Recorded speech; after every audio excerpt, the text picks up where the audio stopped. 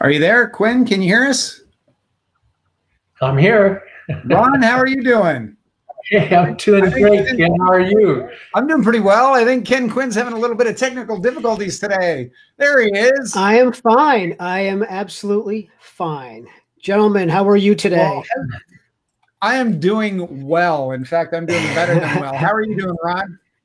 Hey, I'm hanging in there. It's going to be over 100 degrees in Arizona today. Well, it's a beautiful oh. six. It's a well, it's about 70 degrees in Hilton Head today, so I'm enjoying that. That is that is just terrific weather. Welcome everybody. Quinn, Quinn, you want to say hi? Quinn. Hey everybody. Quinn, Hope you're doing well. I'm in Maine. Weather's beautiful today. I had a nice long uh, eight mile run this morning, so I'm feeling really energized. Uh, that is really, really good. I'll tell you, we've got a lot to cover. Um, we've got a lot of things happening. The United States is slowly but surely starting to open up. My name is Ken Clark. I'm the regional director for the Southern States, and I cover everything from wow, Texas, Louisiana, all the way up to West Virginia, Virginia, and everything in between. And I'm very excited. I just got word today that we have a hearing next week in Louisiana. And so it should be on Wednesday around 1 p.m. But the Louisiana legislature is working business as usual with, of course, safety guidelines and all that. And I'm going to be traveling to Louisiana. I'll be going to Baton Rouge um, uh, next week. And I'll be testifying in that hearing on Wednesday. It'll be at 1 p.m. Central Time. And you should be able to find the live stream for the hearing itself. And I feel really good about what we've got going on in Louisiana. We've got some great sponsors. We've got a terrific lineup of co sponsors and pledge signers in that state. And we really do have a whole lot of momentum going in. And so I am really tickled. If you are from Louisiana, reach out to me and I will uh, get you in touch and give you all the details. I'll put my my email address uh, in the comments. Um, it's just K Clark, C L A R K, at termlimits.com. And reach out to me. I'll get you in touch and let you know what you can do to help. But I am really excited that everything is starting to loosen up and we're going back to way the United States is supposed to be, where people are free and can go about their lives. So that's what we're working on. Let's get it done in Louisiana, brother. Yeah, I am really excited about that. I just, I probably didn't find out about it 30 or 40 minutes ago. So awesome. I am just tickled.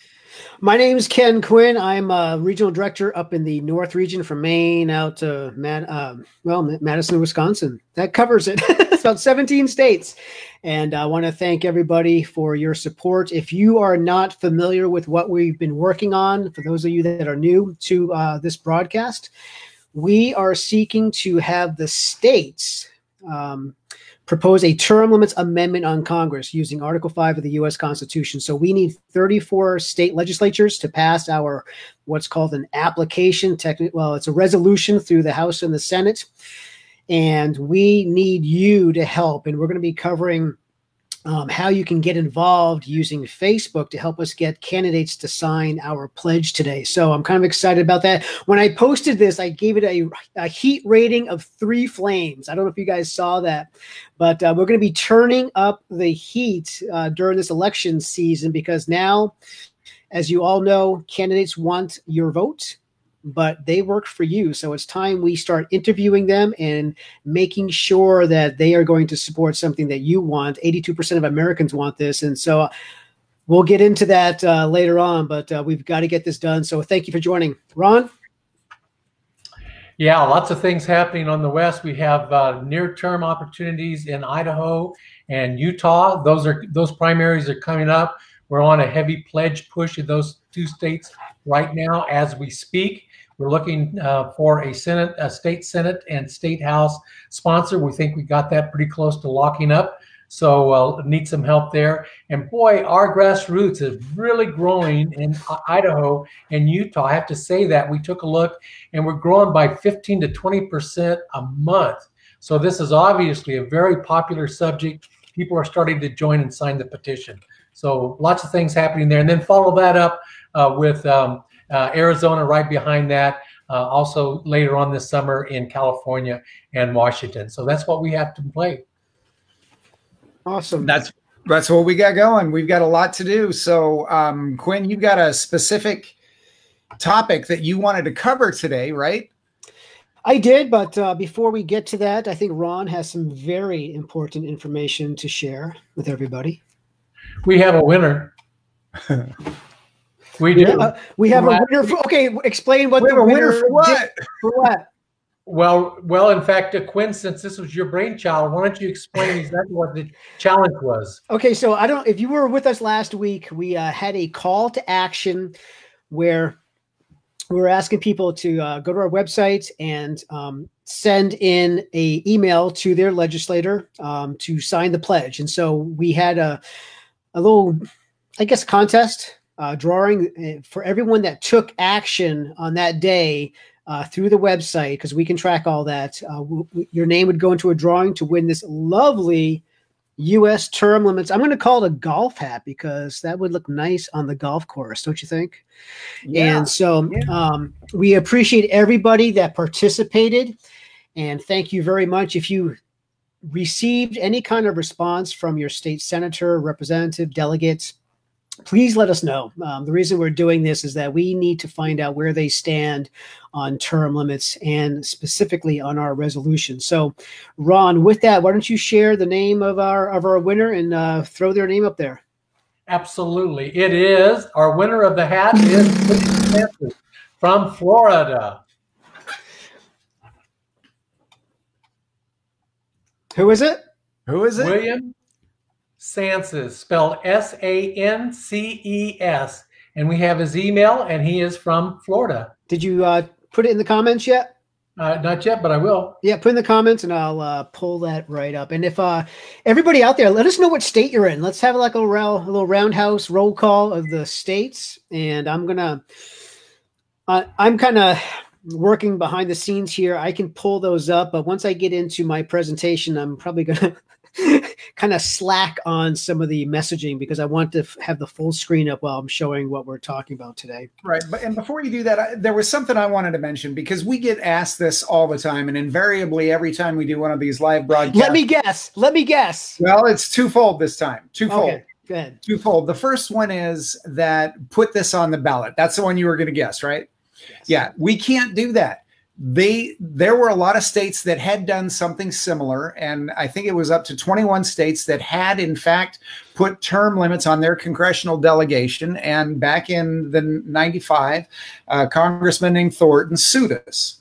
And they, we lost the United States Supreme Court, Thornton versus USTL, US term limits, that's us, decided that the only way that you can term limit our Congress is by constitutional amendment. So that's what we're doing. And invariably, every time we do one of these broadcasts, somebody says, Well, what can you do? What can you do?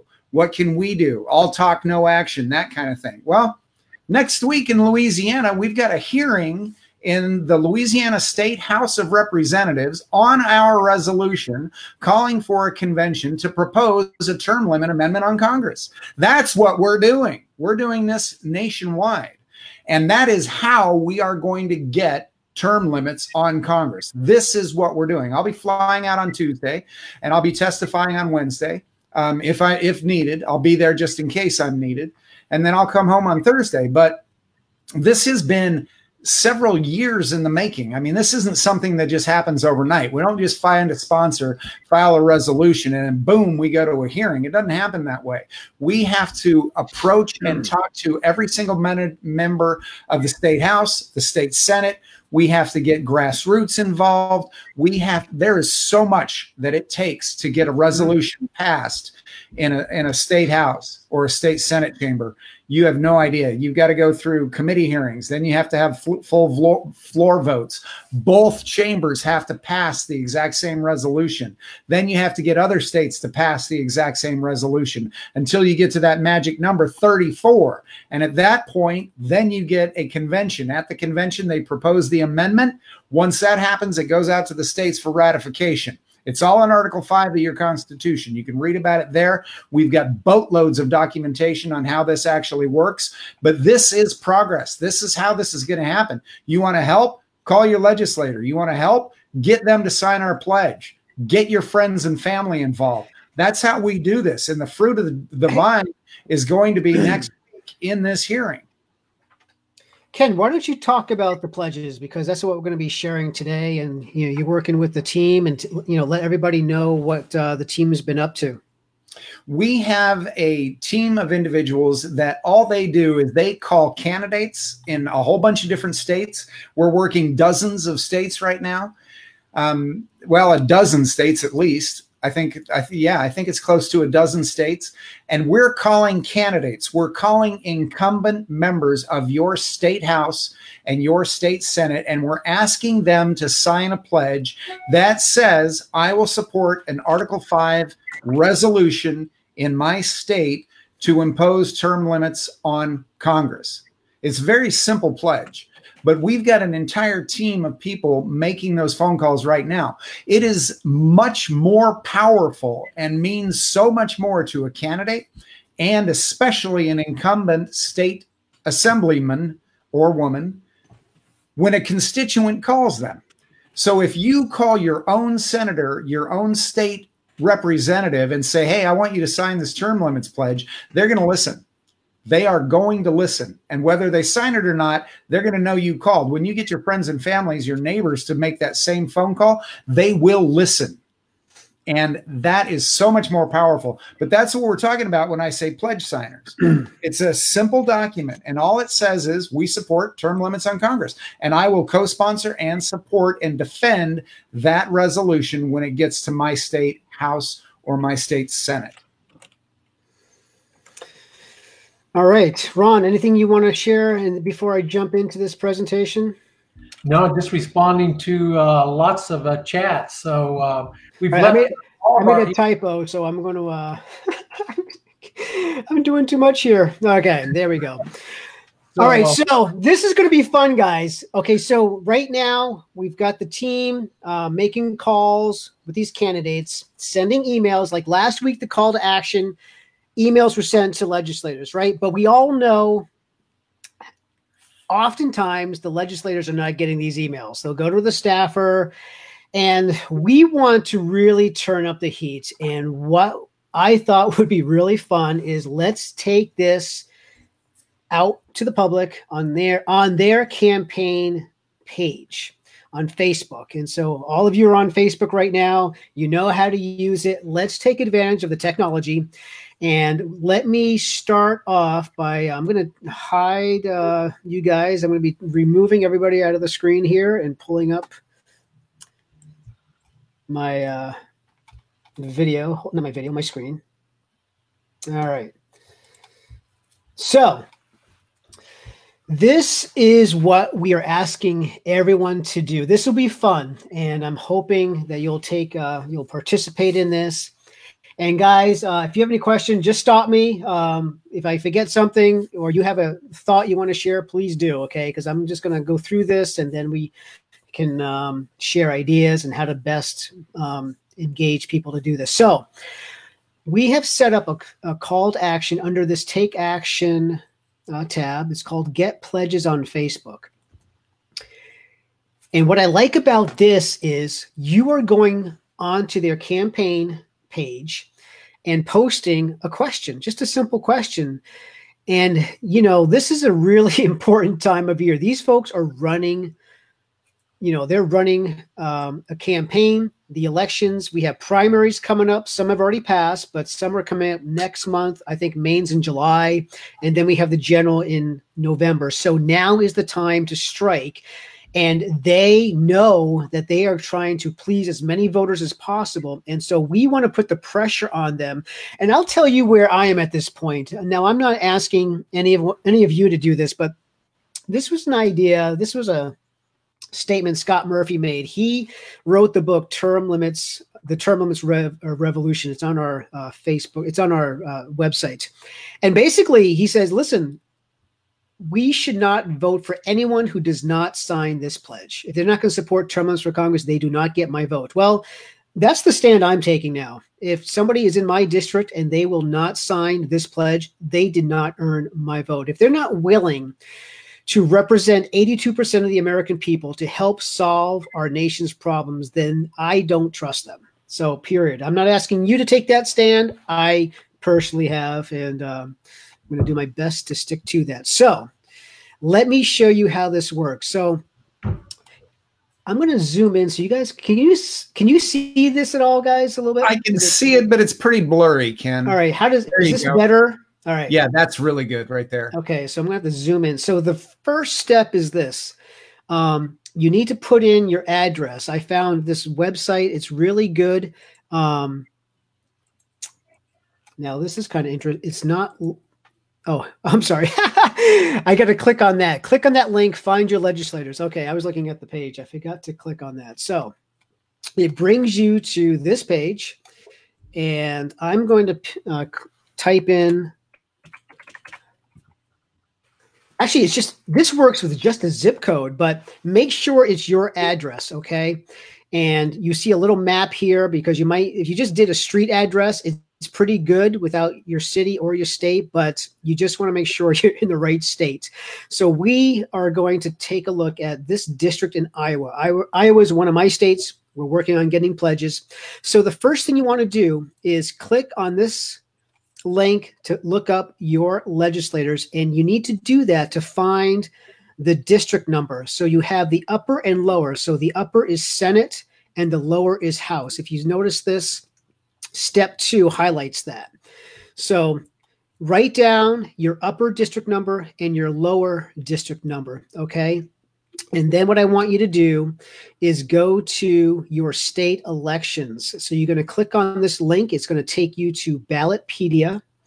And once it loads, I'm going to zoom it in a little bit so you can see it better. And hopefully you don't lose the screen there. Okay. So we are going to go to Iowa.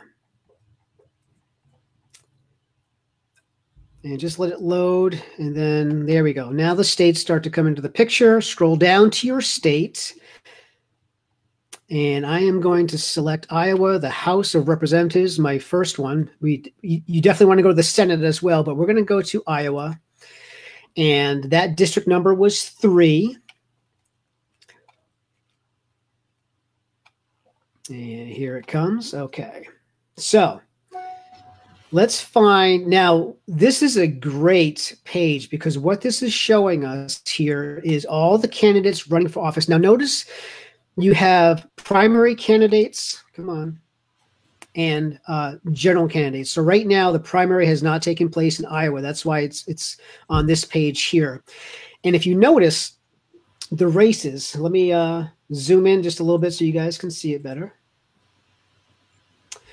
Okay, so here is District Three, and what's what I want to do is kind of go over what the what this means here. So, in District One, we only have an incumbent, so you know that guy's a shoo in. Now, the I stands for incumbent. That means that's the current legislator. So this is the current representative in this district. Same with District Two. Notice in District Three. Now, there's no Democrats running, but there's three Republicans. So this is an open seat the this is the highest priority because these folks really want to win and they know it's going to get it's going to be tight. And so they're looking for every vote they can find. And so this would definitely be a high priority. Um, if you have let's see like here district 11 you've got two people running in a primary here against an incumbent. And so if you are willing to work your entire state that would be great. But what's really important is if you definitely want to go to your cons- your, your district because you are this representative's um, constituent. So we're going to click on Lynn Evans here. And this is going to take you to his profile page in Ballotpedia. And where you go, this is really easy to find. Can you guys see all that okay? Yeah, I can see it pretty well. All right. So all you have to do now, most of the candidates will have a campaign Facebook page, and it's right here to the right of the screen. Okay, that's kind of so, hard to find. There it is. Part, Yeah, it's right there. Yeah. yeah. Um, some some of them may not have a Facebook. Some might just have a website, and so you'll see links underneath the contacts. So I would recommend going to the campaign Facebook because that's where their constituents are going to be. That's that's where you know their statements are uh, going to be, their posts. So let's click on that. And now, I visited uh, Lynn's website, uh, his Facebook last night, and I did this and it was kind of fun. And let me show you. I'm going to zoom it in a little bit so you can see. Now, one thing I would definitely recommend, and I, I don't want to forget this. Before you do this, try to find some friends in your district, your wife, you know, somebody that lives in your district, and let them know what you're going to do. And then send them to the legislators' Facebook page so that they can chime in on your comments. And I think that's a great way of creating and, and, starting a discussion on term limits for Congress. So, what I did, I just quickly scanned his Facebook page, and oftentimes they'll tell you um, where they stand on issues. So, I took a look at his uh, folder here, his little palm card. You know, he claims to be a conservative. Um, you know, a lot of good stuff here. So I was looking for anything about term limits because sometimes they'll put term limits on their campaign literature, but I didn't see anything here. So what I did, I found a post. Um, I'm going to scroll down just a little bit lower. Let's see. Give me one second.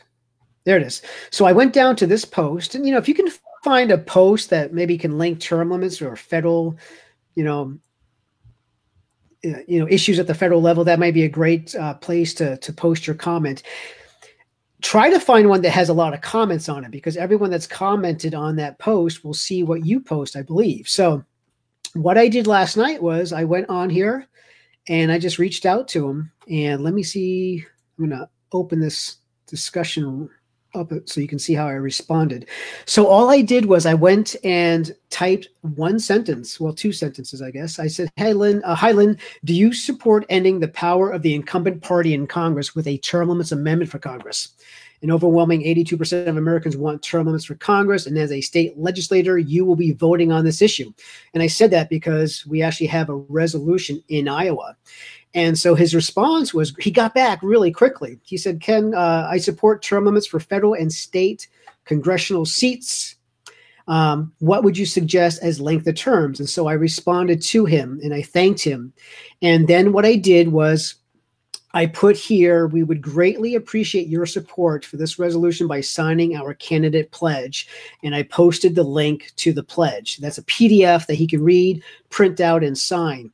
Now, I haven't heard back from him yet. Uh, I called him this morning and left a message. So I'm hoping that he will get back to me today. But this is what we want you to do. And what I provided on the call to action. So I'm going now down to step number. So we covered most of this already. Step number seven. There we are. Okay. All I did now you can come up with your own thing, but just feel free to copy this one sentence and post that one sentence on uh, the page. That's all I did.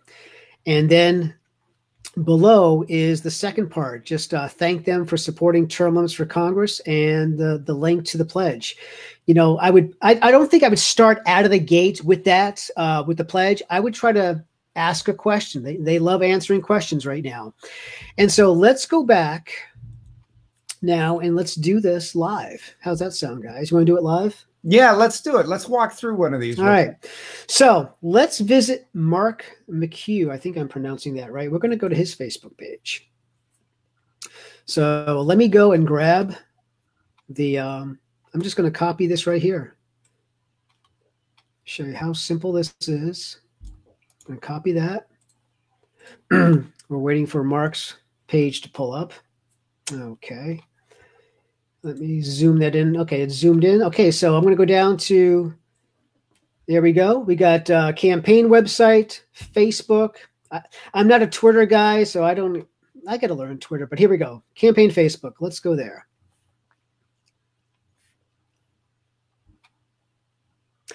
Now, I don't think you'd want to tag your friends in the comment. I think that might be a little over uh, powering on the first uh, first meeting.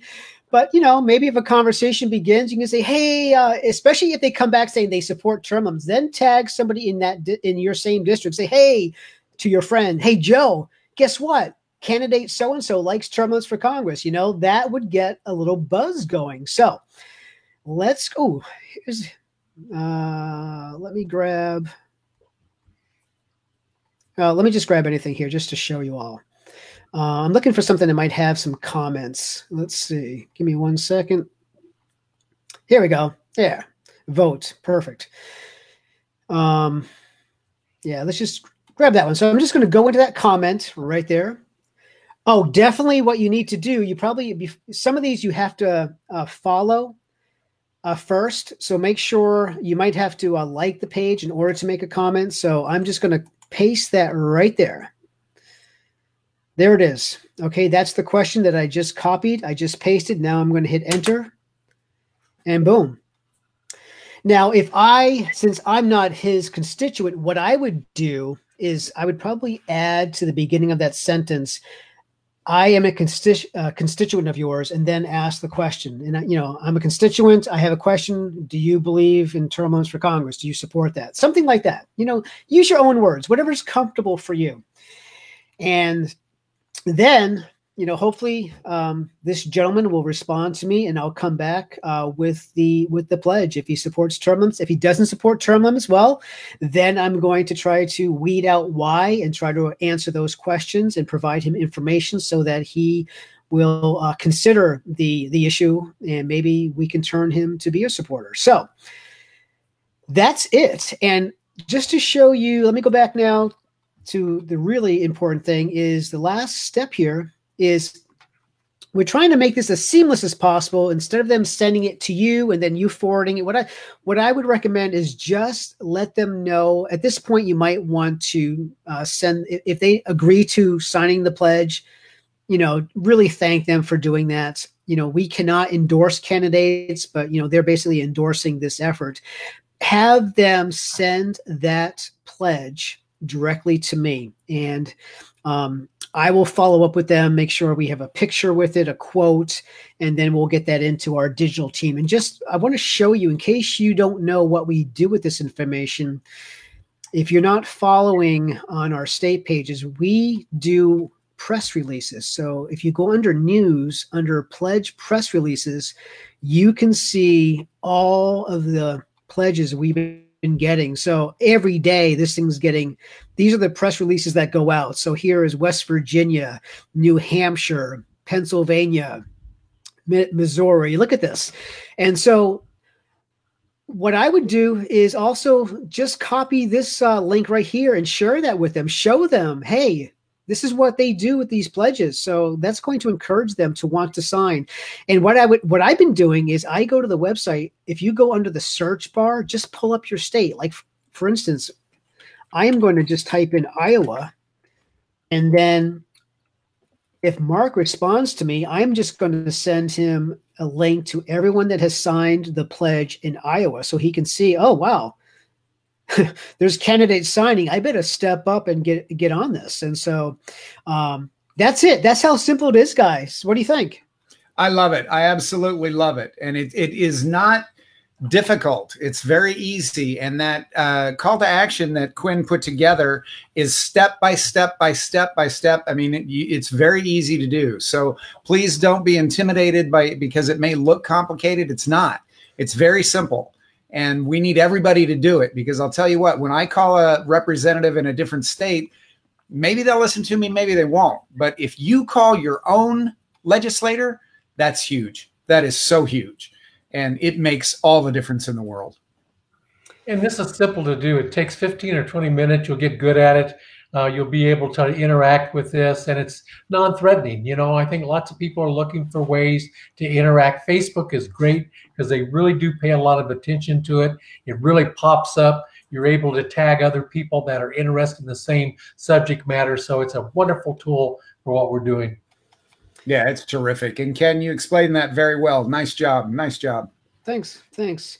Yeah, so we could really use your help if if you are out there and you feel frustrated. Um, listen, folks, we understand um, the frustrations. We're all there with you. We get it. Um, we are working on something that's never been accomplished before. If we pull this off, if we get the states to meet to pass something that the majority, the super majority of Americans want, this is a game changer not only for our future, but our grandchildren's future and the nation.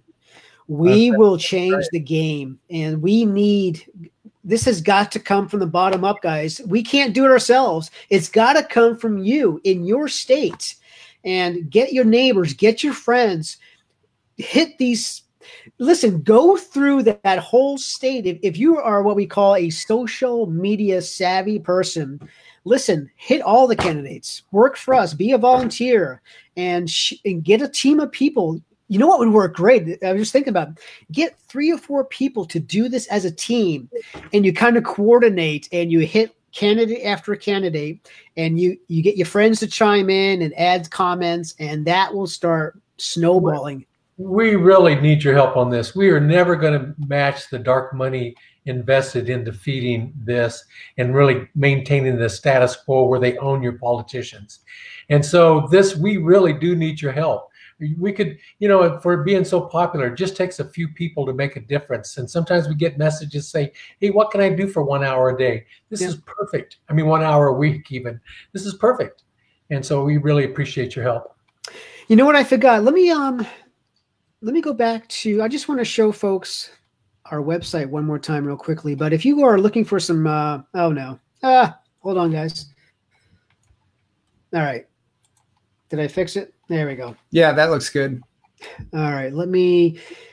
If you go up to our website, let me just shrink this just a little bit. But feel free, you know, election season's coming. We could really use your help by having you buy our yard signs, you know, purchase some yard signs, put them out there. You know, we got to get the word out. So please visit our website and go to the store. Um, we've got apparel, We've got cups, we got bumper stickers, magnets, yard signs. And we also every week on Monday check. Uh, please uh, subscribe to the podcast that Nick and Phil do. That's up on our website as well. Um, let me back out of here. Yeah, Go I got a podcast. I got to call out our Washington State uh, director. He is a yard sign champion. Oh yeah. I think he's even on this. I've asked him to go out and take pictures. So I don't. He, he ordered probably thirty signs for me, so they're all over. Oh, that's and, great. Yeah, we love it. Yeah. Get the word out. Get the stickers on your car. Everything. Let's grow this. We got to build an army. It's a term limits revolution army, and we've got to get this done. So we really appreciate everyone that's doing that. And if you, uh, before we uh, drop this uh, the screen here, if you have done this on a candidates page and you feel like they're going to send it in, please let me know. Send the email to kquinn at termlimits.com. So I'm on, uh, I'm looking out for it and we want to recognize everyone that's participating in this call to action. So that would be uh, really helpful. All right. Well, guys, that's pretty much all I have for today. Is there anything else we want to cover before we say goodbye? No, that pretty much wraps it up. Um, please stay tuned for what's happening next week in Louisiana. This is very exciting. This hearing's been delayed for months because of all the madness out there. Uh, same thing has happened in a lot of other states, but uh, Louisiana is the first one to pick up the ball and start running. So I am really excited about this. Yeah, let me correct that. Dana Dana George just sent me a note said he's he's at he is on his fiftieth yard sign. Dana, you're the man. You're the man. That's Way to go, Dana. and I I uh, just became a, a member of a term limits group and I felt bad because it happened just before we went live and I posted the live. So if any of you are from that group, listen, I really appreciate it uh, we want to work together in any way that we can. So please help us uh, get this done. I quickly looked at your page. It's like, wow, these guys have been on this, and we got to join forces. So thanks, everybody. Um, this is this has been fun. Yeah, this will be great. We'll be back next week. I probably won't be on the call next week. I'll be get traveling. It, get I'll be done. traveling to Louisiana. Yeah, yeah, baby. All right. Maybe we'll do a live stream from the hearing or something. That'd be kind of fun. Well, the, the hearing's on Wednesday, so well, you can report. You can tell us how it went. Yeah, if I can. Yeah, you bet. I might be able to do that. Who knows? Right. Maybe I can get home in time. All right, everybody. I think we're done. Thanks a lot. Appreciate Thank it. You. Join the Term Limits Revolution. That's it. Bye bye. All right, Bye. bye-bye.